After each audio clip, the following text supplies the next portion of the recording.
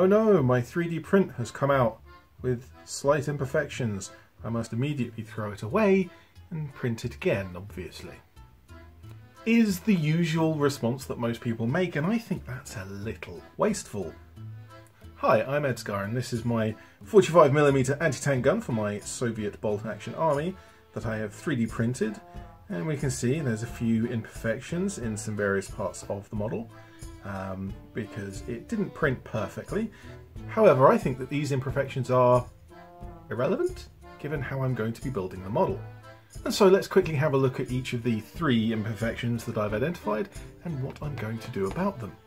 If we start at the back, we can see these two recoil struts.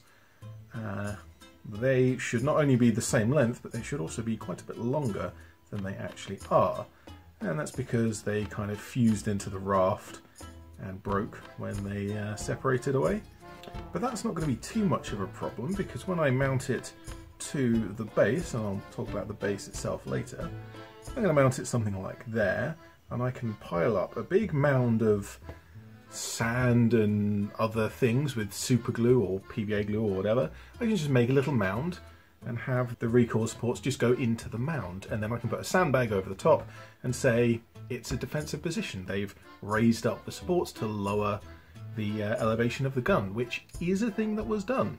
The second imperfection on this particular model, again, it's to do with the raft of the 3D print, but the uh, the bottom of the wheels is, um, well, it's not exactly round all the way around, but just like these recoil supports, I can just pile that up with various ground effect, mud, like just a pile of mud, which I'll make out of sand or, or some other kind of texture material. We'll see what I've got in my collection.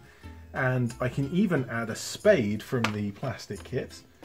Um, there's some shovels here. I can throw in a shovel there just to make it look like they've in, they've actually dug it in to uh, control the recoil that sort of thing makes sense to me. The third thing, and I'm not actually sure what happened with this, it seems to have separated at some point. It's kind of a bit strange.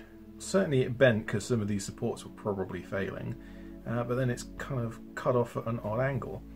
And that's actually easy for me to fix as well, although I'd like to print just the muzzle piece and kind of cut this off flat and glue the muzzle piece on. That would be an option. But because I'm going for a very snowy theme for my Soviet army, that makes this a very easy thing to fix. Because one of the things that was regularly done with kind of artillery pieces and anti-tank guns is to camouflage them and in snowy conditions you can get a white sheet and throw this white sheet over or you can get a roll of fabric and wrap it around the barrel and that is exactly what I'm going to do here. So let's break out the Milliput and let's get some sculpting done. This should be fun and getting stuck into this in a different order to what I've just explained because I want to sort out the barrel first. The Milliput wasn't sticking all too well to the resin, and this is partly because the surface area I'm pressing into is small, but it's also winter when filming, so even warming the putty by mixing is still not as warm as it would be in other times. That is a super easy thing to deal with, just a dot of superglue on that layer separation and squish the putty on and it holds well enough to get to sculpting. Rounding off this little lump pretty basically as I know I can sand or cut a nice flat edge once it's cured. Then the real difficulty came with trying to make a nice, neat, flat, thin strip of milliput to wrap around the barrel. And again, it was fighting me. The old clay in cold conditions does not behave. Well, as stubborn as the milliput can be, I can be just as stubborn, and I worked at it for a few minutes and I got something that kind of looked acceptable to me.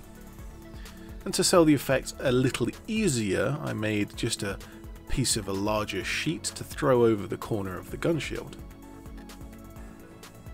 I had made up a much larger batch of milliput, so I used all that was left to make these kind of supporting mounds of mud on the side of the base, or at least to start to make the shape of them. I'm not trying to be too neat at this stage, I just want to leave enough room for the crew. And with the extra volume it really makes the base seem more lively than the totally flat surface that it started out as. So let me pan back to my past self for that. I did mention that base and um, I kind of need to redo it because I was just playing around with some things and uh, not everything has stuck. What this is, is this is all of the leftover resin from when I mix, um, well, resin apparently. That's because I use something like this.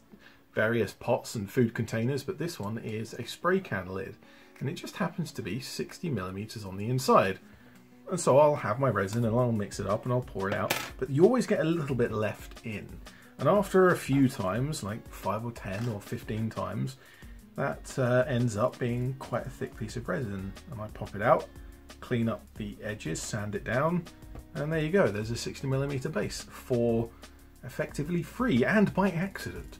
So that's a pretty pretty handy thing. Just about the right size for my, I mean maybe it's a little tight, um, thankfully the anti-tank gun only has a crew of two. And here's how it all looks as the Milliput cures. But before gluing it down to the base, I felt it might work better if I painted the gun separately, sub-assemblies and all that. The infantry for my Soviet bolt-action army is painted very simply and expediently, so continuing that simple style into the artillery pieces should tie their look together and much like my infantry who get a tan primer, this gun gets a military drab green which will be the most common colour on the finished piece. On top of this I painted a lot of small shadows at the edges in a darker, richer green. I'm not aiming for a base coat here over the primer, I'm just using a little bit of this green to enhance it and give it some depth. And then comes my fleckle technique, which is applied in slightly different way to my Tanith camo pattern that I've shown on the channel so many times already. Rather than filling in the entire surface with flecks of various colours, I'm layering all of the colours that I want to use here on top of each other in specific locations. First with black to keep the tone of the later colours muted, but some of the black will end up showing through and that can give the impression of mould or dirt or some other damage than the specific layers that will follow. The next is orange, quite a bright orange, but in these small spotty fleckles it just gives a hint of rust to all of the damage that the black has created. It's almost certainly unrealistic the amount of damage and rust, and particularly the location that I'm putting them at, but I have taken the deliberate decision to land somewhere in between realistic, historical, and artistic, but also expedient when it comes to how I'm painting this army. I also specifically chose to paint this entire army with a non-metallic metal on all of the metalwork. For those who haven't heard the term before, when painting very small miniatures like this, there are specific metallic paints that have little reflective flakes that give a certain effect and it looks pretty good as metal. But it doesn't always look perfectly realistic, it's a very characterful metal look. For a more realistic look there is a technique called non-metallic metal, and that's because you use normal non-metallic paints to paint in that effect. In my case I'm using black, white and grey, and the technique is to paint in the reflections that a metallic surface would have. And I am terrible at it, but it's something that I want to learn, and the best way to learn is to do. Practice, armed with a little bit of research, is a great teacher if you don't have an actual teacher.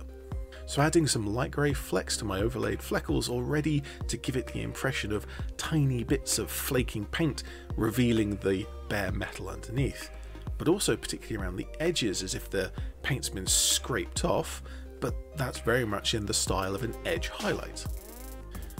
Most of that doesn't really count as non-metallic metal specifically, it kinda does, but it's not the most recognisable style. But I also wanted to break up the green a little, because it's all green so far, and so I chose some parts of the model the guns barrel, the breech, as well as the wheel hubcaps to do a more deliberate non-metallic. Again, I'm not very good with the non-metallics yet, I'm still practicing, and this is a perfect place for me to do that practice. And yeah, I guess it's really weird that I'm painting in a very simple, expedient paint scheme for this army, and then also painting non-metallic metals on this army. I'm strange, I know, well aware.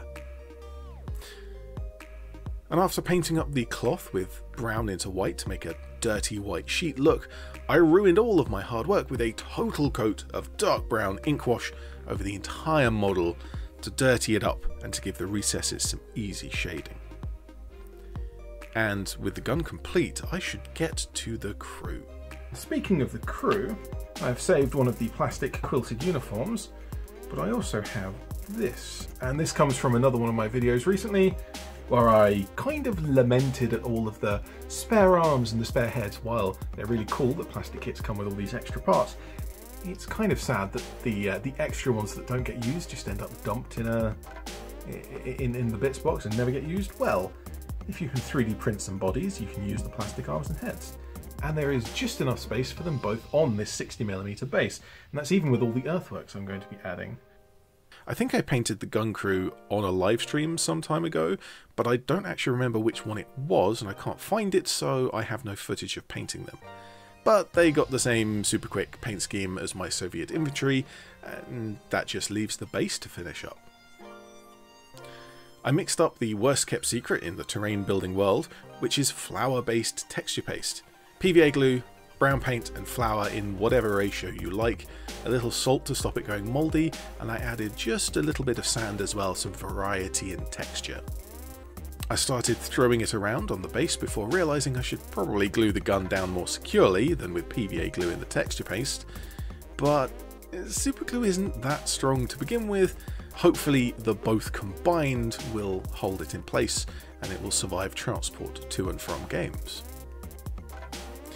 After that was down, I filled over all of the imperfections on the print, the broken struts, the weird shapes in the wheels. PVA and flour, particularly with a little more flour, really does hold its shape quite well as it dries. And just for that last little trick, I wrapped the base of the loader in cling film, pressed it down into the mud as it was drying, and this leaves a round impression of the loader's base that once everything is dry, I can place the model on and move it around as one piece, but I can also remove it to indicate a casualty. And would you look at that, after drying, this uh, totally unusable 3D print that was broken beyond repair has been repaired and put into use. And I've even actually used this in a game already. And I will mention that this, uh, the STL for the gun is by KPI 1986 on Thingiverse, and so I'll leave a link to that in the description. Do pop past and tell them I sent you.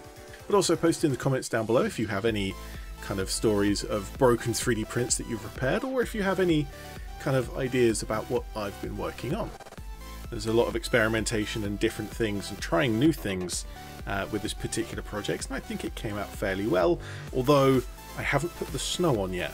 I need to get some snow effects so that my whole army can be winter themed because that's stylistic and cool. I want to do it. So pop past the description box and share the video and all that nonsense. But for now, I'm ED-SKaR, always will be, and thank you very much for watching.